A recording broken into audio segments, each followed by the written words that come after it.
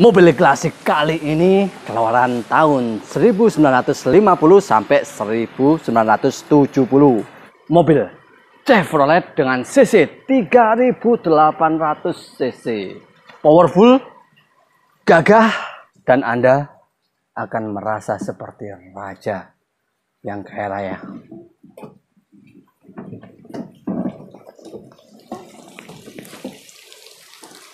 Chevrolet Impala.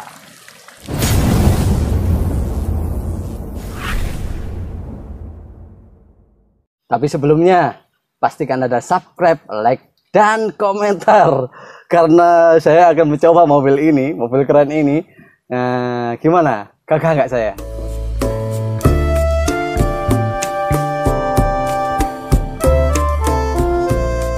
Karena ini interiornya cover joknya.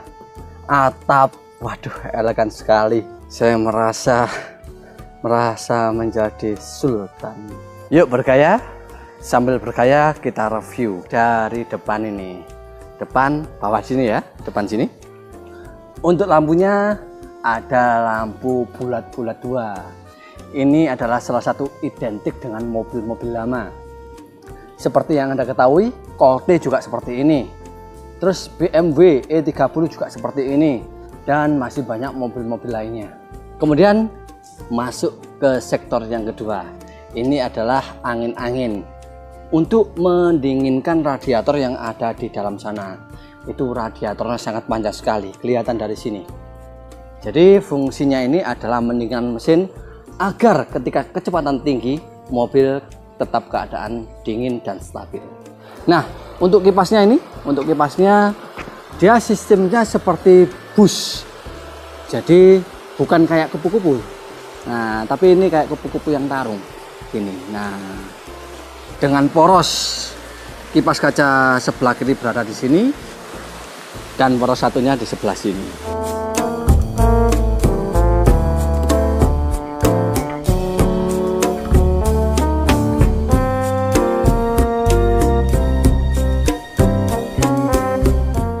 Warnanya Ferrari punya.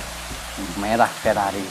Kemudian di sini ada aksen list mulai dari depan sini ya sampai belakang sini. Full ya. E, di sini dihentikan sampai di bokongnya. Kemudian di bawah ini ada tulisan Impala di sini ada handle pintu sebuah kunci. Handlenya pun kelihatan elegan.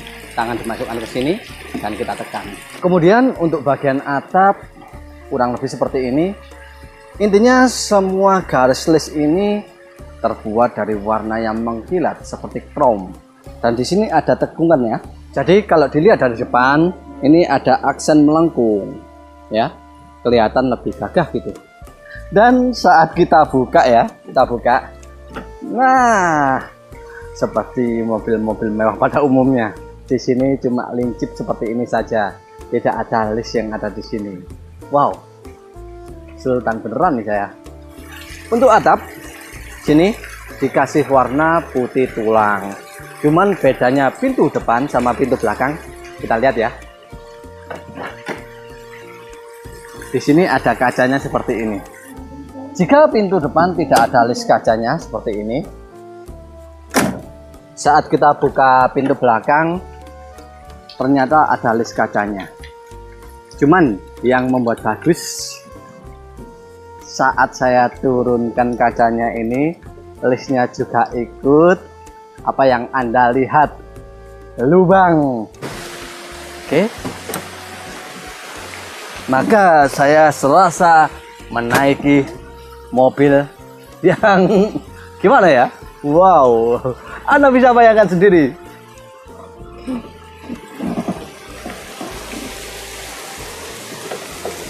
Nah saat dibuka pun kacanya juga ada listnya ini.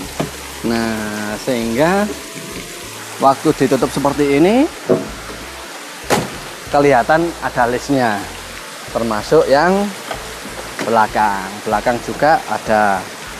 Nah jadi saat semuanya naik mobil akan kelihatan seperti biasa-biasa saja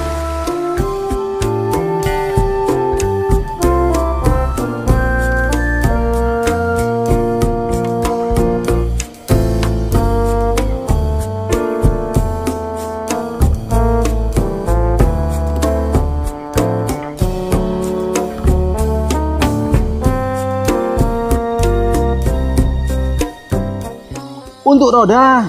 Ini lebih besar daripada roda-roda mobil lainnya. Karena roda ini memakai ukuran 215 per 55 menggunakan ring atau pelek 17 lalu kita masuk ke sektor interior. Masuk lagi nih. Waduh mobil siapa sih? Mobilnya Sultan. Untuk pintu sudah di custom warna merah. Ini pegangan ya. Jadi kalau mau nutup ini tinggal tarik saja. Oke kemudian di sini ada putaran nah putaran ini adalah untuk membuka kaca yang kecil ini. Ini ya. Nah kaca yang kecil ini. Jadi zaman dulu sewaktu belum ada AC kita bisa mencari angin-angin lewat kaca kecil ini. Di sini ada tuas kaca utama. Jadi kalau ini dibuka menurunkan kaca yang ini. Nah tadi saya sempat nggak bisa keluar. Gimana cara membukanya dari dalam? Ternyata ini ditarik ke atas masuk ke sektor interior. Pertama saya kasih tunjuk joknya dulu ya. Joknya sudah dibalut sesuai dengan warna mobil warna merah termasuk jok belakang. BTW kursi belakang ini dan kursi depan ini bisa muat 3 sampai 4 orang. Di kursi ini juga ada tombol kecil ini. Ini untuk memajukan kursi ini. Nah atau membutuhkan kursi. Kemudian masuk ke setir setirnya wow ciamik guys. Wow ini bel ini. Berarti ini fungsinya adalah fungsi bel. Nah ini seperti biasa rating kanan kiri ya nah, sama dim. Kemudian ini lampu lampu depan lampu biasa. Ini lampu tambahan. Kemudian di sebelah kiri ada korek apinya juga. Zaman dulu sudah ada korek api. Nah kemudian dashboardnya. Dashboardnya seperti ini.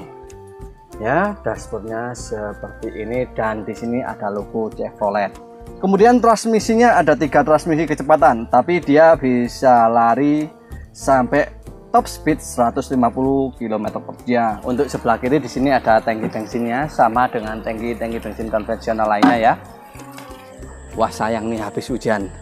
Nah di sini ada logonya ya. Logo di sini ada juga logo Chevrolet. Ini lampu remnya ada tiga. Jadi kalau ini nyala seperti nyalanya apa ya lampu jet dulu apinya lampu jet.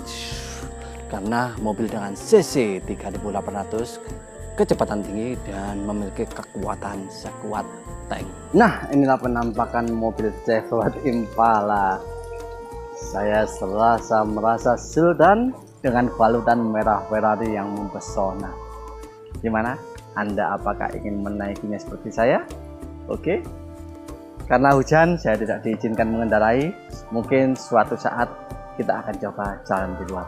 Selain mobil Chevrolet Impala, saya juga akan mereview sebuah mobil Opel Kapten termasuk Mercedes-Benz 320 tahun 1953 kemudian juga mobil DAT ini ya. Ada satu mobil yang sembunyi di balik tiang ini. Tarat pintunya di depan.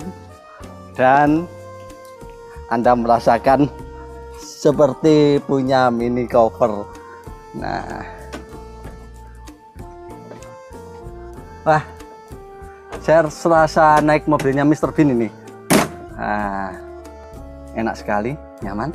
Itulah review singkat tentang Chevrolet Impala generasi muda dari Bumblebee. Tunggu mobil-mobil klasik lainnya tetap di Otosan TV channel kebangsaan kita semuanya channel otomotif terindah